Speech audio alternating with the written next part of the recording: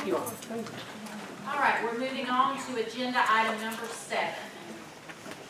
Thank you, Madam Chairman. This is also a conditional use permit request, uh, by Ron for conditional use, um, for light manufacturing and highway commercial zone.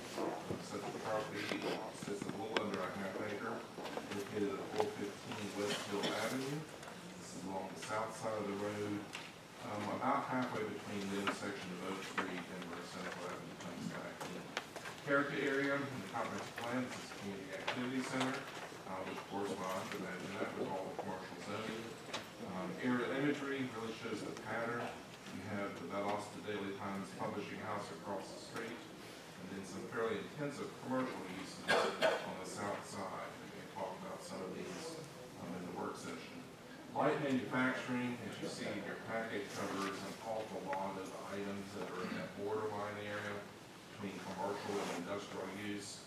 Um, it is allowed in highway commercial zoning by conditional use only, and that is simply so we can review them case by case. Many times with a light manufacturing use, it's all about the exact location, and more importantly, the scale and magnitude of what they're doing. Is it generating traffic, trucks, noise, et cetera, um, peculiar hours of operation? Variables can go into that. In this particular case, it's a very small operation housed entirely in the building.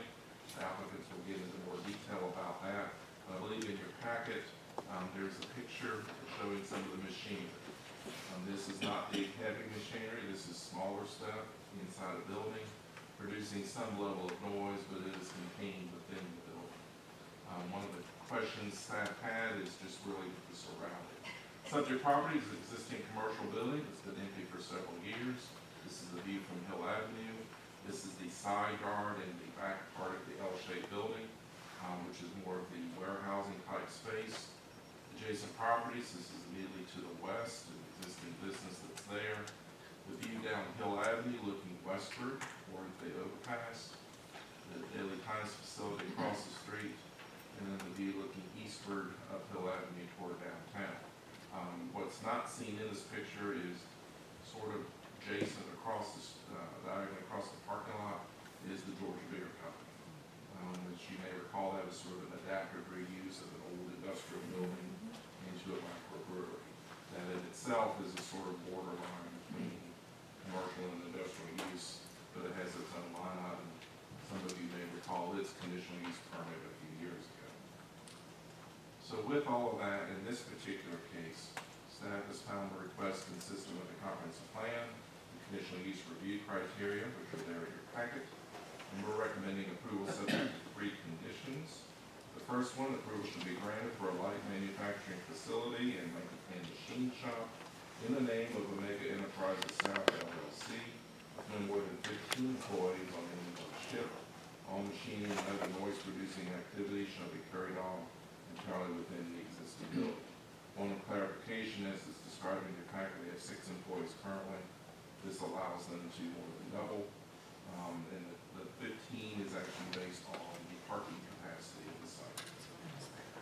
Number two, within one year after business license approval, the existing parking lot shall be weed-free and properly restored and striped with standard commercial parking lot with layout approved by the city engineer.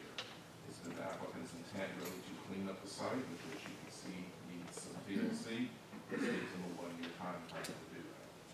Number three, conditional use approval shall expire two years from the date of approval if no business license has been approved for the facility uh, that day. The applicant is here. I'll be glad to try and answer any questions you might have for me.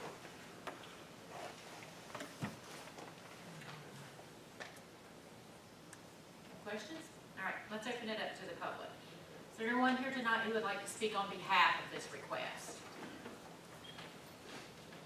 Madam Chair, Commissioners, I'm Ron Borders, seventeen eighteen Williams Street, and I represent the lessor and the lessee. And we don't have anything to add to what Matt said, but, uh, I do have Brad from Indiana who will be overseeing operations as they expand from Indiana down to this location, and he can answer any technical questions if you have any. Thank you, Mr. Borders. Thank you. Sir, would you like to speak? Um, sure. Brad Dillingham on sixty Oak Street in Ray City. Uh, like Matt said, we're just kind of wanting, we're currently in the our glass facility, just opened up a couple of years ago, we're a small garage, basically, we need a little bit more room to expand and service them there as well as other existing customers in the area.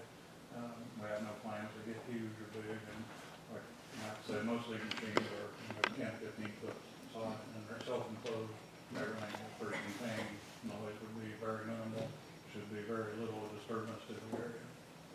So you do have plans to increase the number of employees? Um, pro- somewhat, yeah, maybe, like he said, maybe double, that would be total of twelve, and he's allowing fifteen per shift, which would be probably way over the top of what we plan on doing. Okay. Plus, things go super well. So to do. Yeah, and I think it's gonna be an improvement of what we've seen here in the last few years. Thank you, sir. Thank you. Anyone else here tonight who would like to speak on behalf of this request? All right, is there anyone wishing to speak against this request? Anyone wishing to speak against? All right, there being none, I'll turn it back over to the commissioners. Any discussion or questions? All right, I'll call for the motion. Madam Chair, regarding CUP twenty twenty-two 9 a con- conditional use permit for four point four six acres in a CH zoning district. I move that we recommend approval, including the three conditions of staff listed in the report.